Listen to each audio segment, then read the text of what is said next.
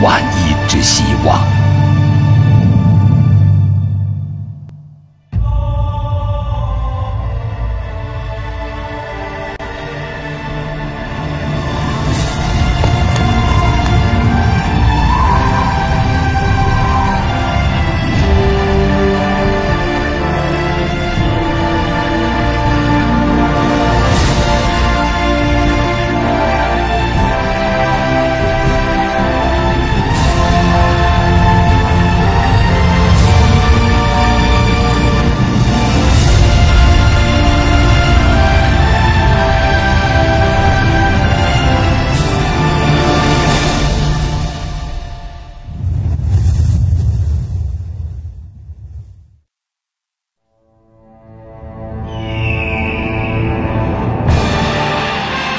公元三三七年，中国北方的后赵王朝立国十八年，在这个新兴国家统治下的平阳郡舞阳，一个婴儿诞生了。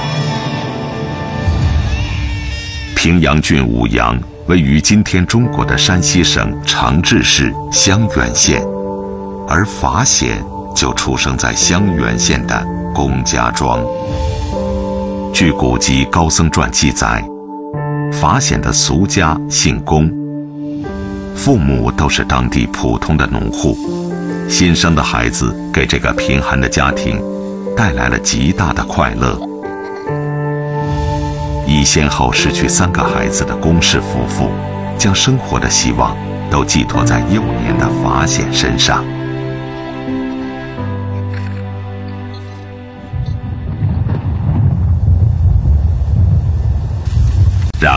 幸福的生活总是如此短暂。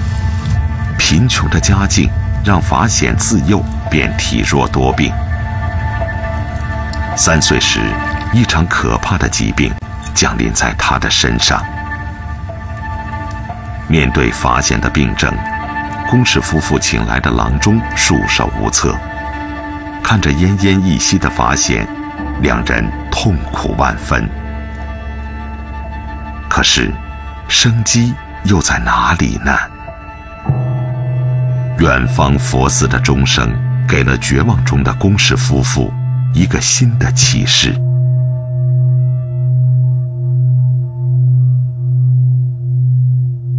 山西襄垣县境内，至今有一处古老的佛教圣地，名叫仙堂寺。此寺依山势而建，泉水萦绕。环境清雅幽静。据襄垣县志记载，仙堂山初有寺庙时，曾有一位名僧高人在此剃度受戒，之后悄然隐去。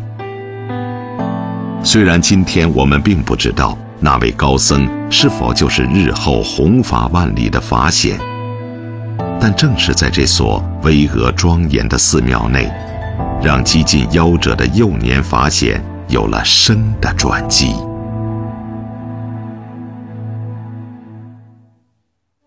在那个古老的年代里，人们时常把现实无法完成的希望寄托给宗教神灵来为之实现。带着最后一点期望的龚氏夫妇，将病中的法显送进仙堂寺。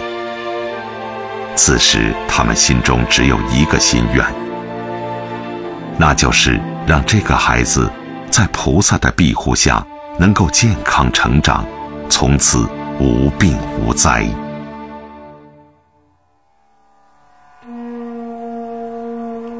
佛教产生于公元前六世纪的古代印度，由释迦牟尼创立。释迦牟尼也被称为佛祖。或者佛陀，早在公元前三世纪，古印度的佛教就传播到中国的新疆地区。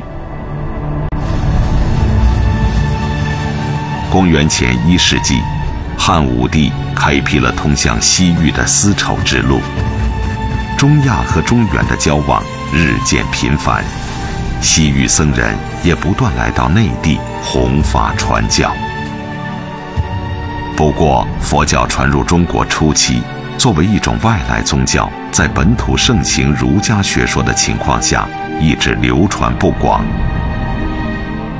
然而，这种文化上的垄断很快就被公元四世纪的社会大动荡所打破。公元四世纪的中国大地是历史上最为苦难多舛的时期。随着西晋的灭亡，来自草原的游牧民族在长江以北纷纷立国称帝。一时间，中国的北方血火纷飞，生灵涂炭。在这个动荡不安的时代里，百姓寻找不到现实中的希望和光明。佛教作为一个追求因果轮回、向信徒许诺来世幸福的宗教，正好在精神上解脱了大众心中无尽的痛苦。于是，在民间，佛教也迅速传播开来。年幼的法显就是在这样一种宗教氛围下来到寺庙之中。这个因为病重祈福而出家为僧的孩子，很有可能是中国历史上第一位鉴于记载被送入寺院的平民子弟。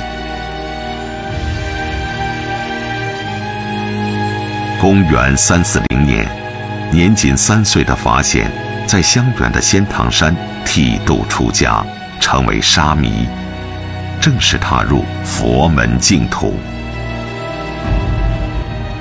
此时的法显不仅完成了世俗向修行的转变，更获得了自己生命的重生。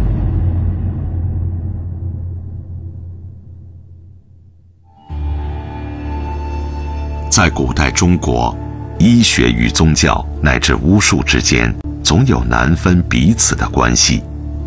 医学利用宗教的精神作用治疗，宗教利用医学的医药知识传播，同时传承了中医学术与古印度医学的佛教寺院。治